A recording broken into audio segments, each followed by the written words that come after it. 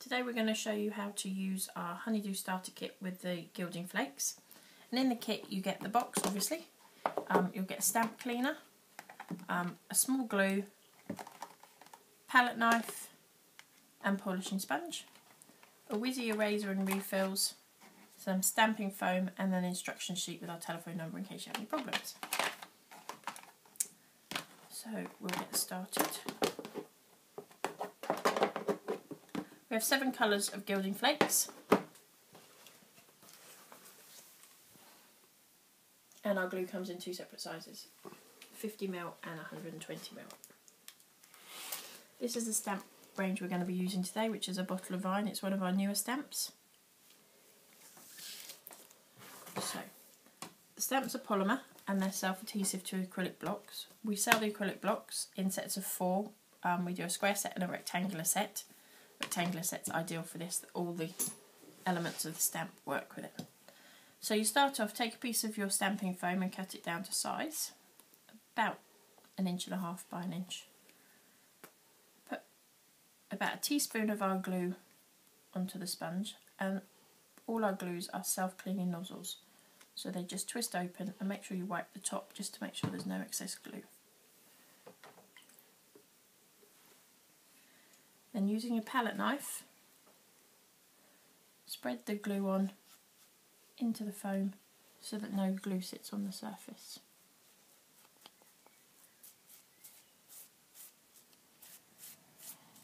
The glue is what we call an open glue, so you need to make sure that anything that comes in contact with this glue gets washed while the glue is still wet. It's water soluble while it's wet, but once it's dry, you need a stamp cleaner. So remember to pop your palette knife into the glue, oh sorry, into the water to remove that glue. Once you've got your glue on there, if you pop your sponge onto a non-porous surface, you'll be able to use that all day. You need to stop the air getting to that glue. So then you use it just like a normal ink pad, lots of little taps all over your stamp.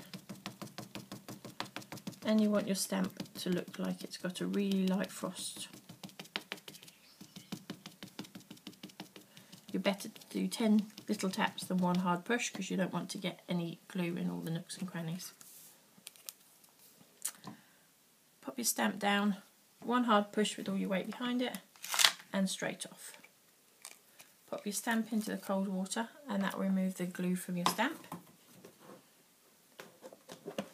Then you take your stamped image to your box of flakes. This is the evening sunset colour. And you sprinkle your flakes all over the top and remove as much of the excess as you can. You don't have to be particularly delicate with this.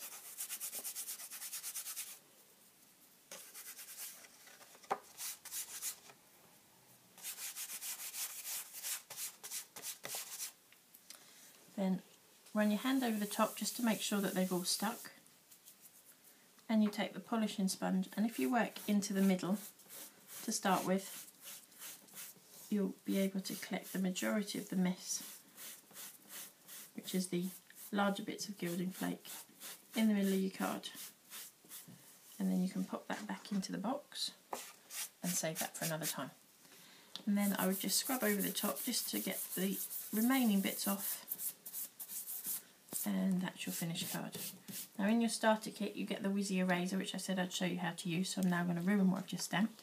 Um, basically this is used if you make any mistakes or you've over inked your stamp around the edge. This will remove any marks on your card without ripping the card.